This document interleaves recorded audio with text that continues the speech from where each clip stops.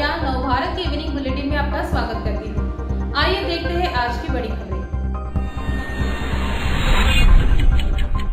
PM Modi ने the major Dhyanchand को श्रद्धांजलि। ध्यानचंद ने तीन बार भारत को गोल्ड मेडल जिताया ध्यानचंद ने अपने करियर में करीब एक हज़ार गोल किए थे। आज उनका जन्मदिन है। उन्हें श्रद्धांजलि देने के लिए इस दिन को राष्ट्रीय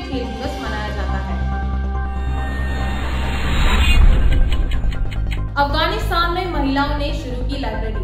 अफ़गानिस्तान में तालिबान राज के एक साल के बाद भी महिलाओं की शिक्षा के लिए कारगर कदम नहीं उठाए गए हैं। ऐसे में अफगान महिला अधिकार कार्यकर्ताओं ने एक लाइब्रेरी की शुरुआत की है, जहाँ हज़ारों से ज़्यादा किताबें रखी गई।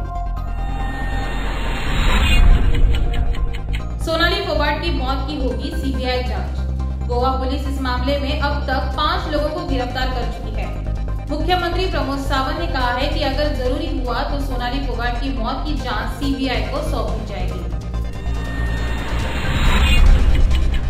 गुलाब नबी आज़ाद का राहुल गांधी पर हमला। कहा कि संसद में पीएम मोदी के गले वो लगे थे, मैं नहीं। बहुत सालों तक हमने राहुल गांधी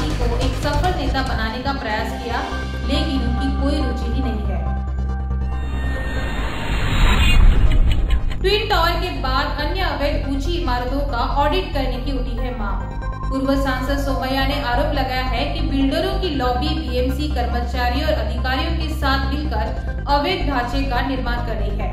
इसीलिए उन्होंने मुंबई में अवैध ऊँची इमारतों का विशेष ऑडिट करने का अनुरोध मुख्यमंत्री एकनाथ शिंदे के पास किया। आज के इवनिंग बुलेटिन में सिर्फ़ इतना ही।